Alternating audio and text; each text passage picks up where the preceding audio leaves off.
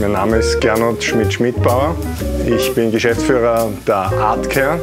Die Artcare ist eine ähm, Plattform für Archivierung und Kunsthandel von zeitgenössischer Kunst und wahrscheinlich mittlerweile einer der größten Online-Handelsplattformen in Österreich.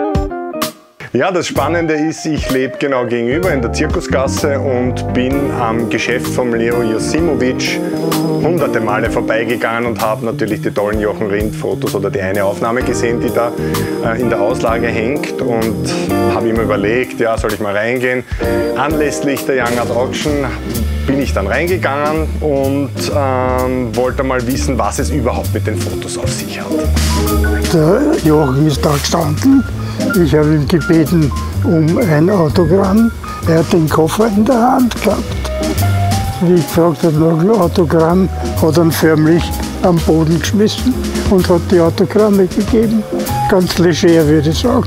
Obwohl ich immer gedacht habe, der Koffer wird zerkratscht sein, aber er hat es ausgehalten. Das war das Tore im Koffer.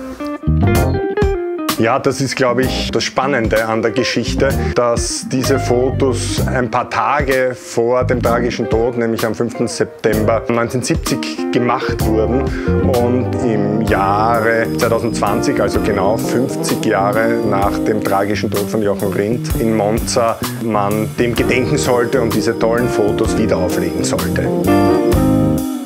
Mein Name ist Thomas Heinisch. Ich bin einer der drei Partner in der Artcare.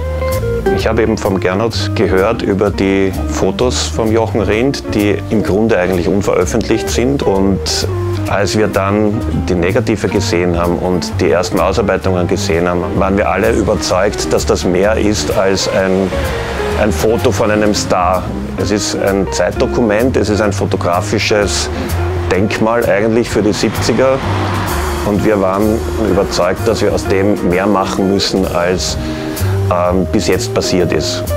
Ja, für mich ist es sensationell, dass nach 50 Jahren sich jemand bereit findet, die Bilder überhaupt in die Hand zu nehmen und für interessant zu finden.